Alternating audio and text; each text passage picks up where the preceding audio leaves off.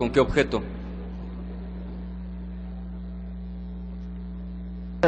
Ciudadano presidente, quiero expresarle mi indignación porque con Aculta, la Cámara de Diputados y el gobierno de Zacatecas invitaron a la ciudadanía a visitar a los artesanos y productores de Zacatecas del día 4 al 8 de noviembre, según consta en las miles de invitaciones que se repartieron. Lo que no se cumplió y se actuó en contra de las disposiciones de los órganos de dirección de esta Cámara.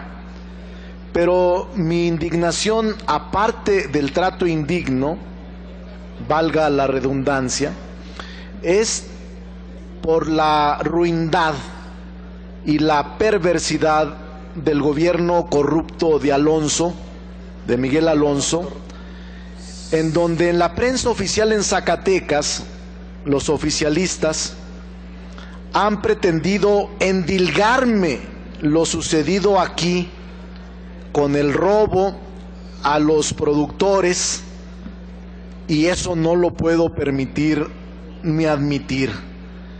Todo por no ser un lambiscón de este gobernante corrupto que malgobierna Zacatecas.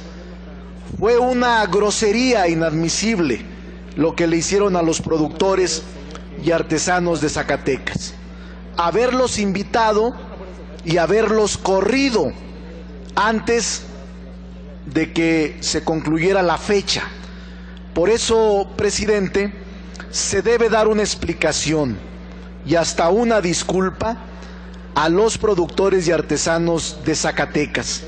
Estoy enterado, presidente, extraoficialmente, quiero que usted me lo confirme, que el gobierno corrupto de Zacatecas contrató una empresa, esta empresa subcontrató a otra y esta otra subcontratada subcontrató a otra para instalar los módulos, el escenario y las tarimas.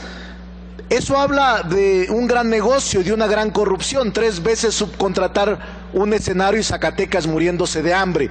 Por eso yo le pido que nos aclare y que usted como presidente de la mesa directiva diga lo que ocurrió en realidad, porque en Zacatecas hay siempre una campaña de linchamiento a mi persona por la prensa oficial, la que no voy a permitir, y les voy a contestar desde aquí a cada uno de estos que son pistoleros y sicarios del gobierno.